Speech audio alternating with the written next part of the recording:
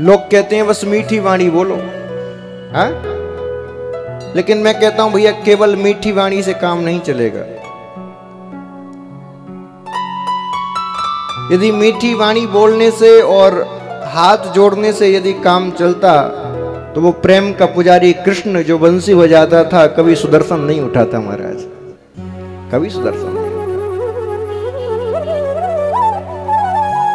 ऐसी वाणी बोली। कैसी? मन का पखो और शीतल करे। और आप शीतल हो।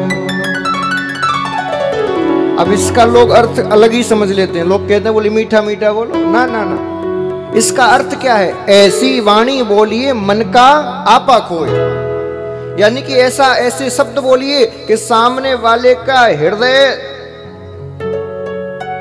कंपायमान हो जाए,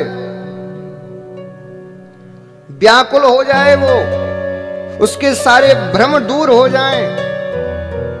मन का आपा खोए, आपा अपना खो दे।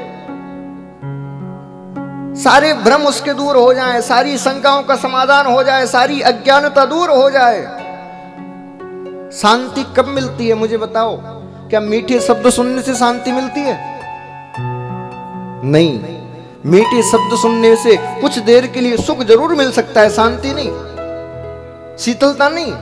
शीतलता, शांति कब मिलेगी? जब हमें ज्ञान की प्राप्ति हो जाएगी, जब हमें धैर्य की प्राप्ति हो जाएगी, जब हमें संयम की प्राप्ति हो जाएगी, तब हमें अपार शांति की प्राप्ति भी हो जाएगी। तो ऐसी वाणी बोलिए, मन का आपा खोए। और जब आप विशुद्ध ज्ञान किसी को दोगे तो वो भी जब समझदार होगा तो वो भी शांत हो जाएगा, और आपके भी मन को शांति मिलेगी कि चलो मैंने एक व्यक्ति को तो शुद्ध ज्ञान दिया।